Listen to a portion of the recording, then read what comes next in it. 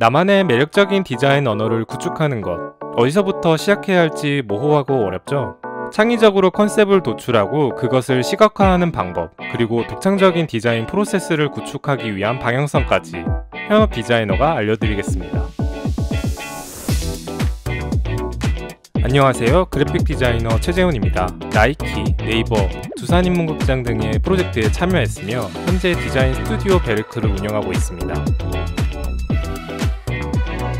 타이포그래피, 컬러, 레이아웃 등 그래픽 디자인 필수 요소들을 체계적으로 학습하고 프로젝트별 디자인 요소 구성 노하우까지 배워보세요. 이후 각종 케이스 스터디와 실습 예제 제작을 차근차근 배우면 탄탄한 그래픽 디자인 기본기를 갖출 수 있습니다. 그래픽 디자인 핵심 표현법은 물론 나만의 디자인을 자유자재로 구사하는 테크닉, 디자인 업계에서의 생존 노하우까지 모두 배울 수 있습니다. 멋지고 화려한 툴 기술만 다루는 강의는 많지만 디자인 핵심 표현법을 체계적으로 학습하고 나만의 스타일 구축까지 돕는 강의는 많지 않습니다.